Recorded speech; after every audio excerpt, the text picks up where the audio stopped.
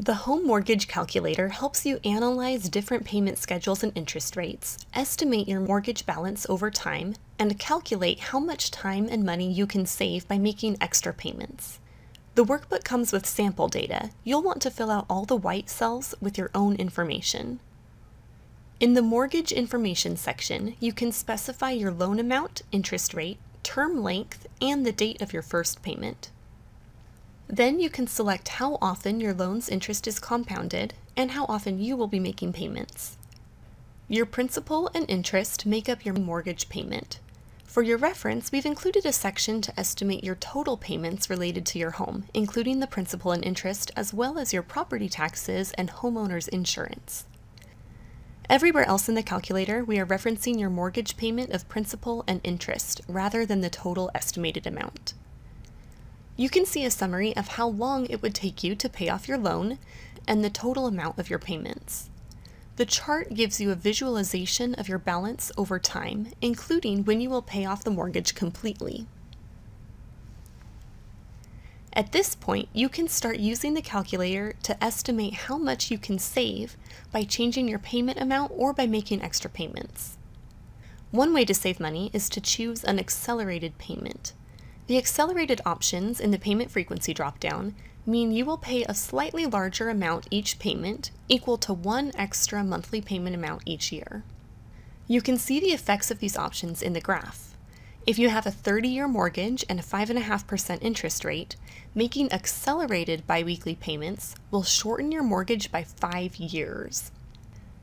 Another way to save money is to create your own schedule of making extra payments. This could be an additional amount you pay toward principal every payment, or a less frequent addition to your regular amount.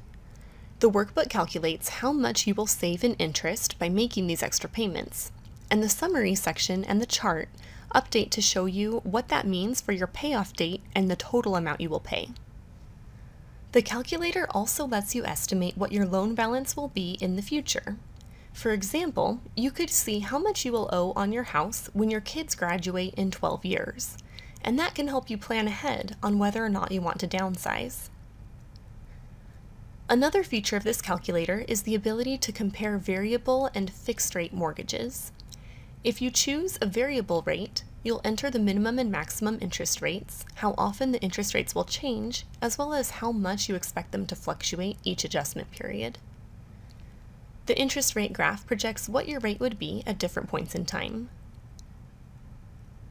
At the bottom of the workbook, we've included a payment schedule.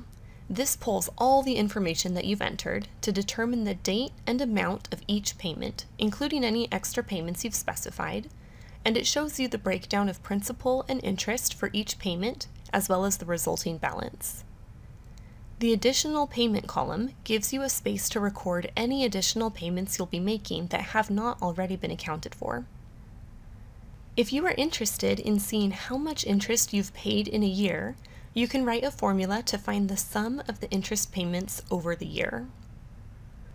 As you use this calculator to compare different payment plans, you can estimate your mortgage balance over time and see how much time and money you can save by making extra payments. For more mortgage and budgeting calculators, visit vertex42.com.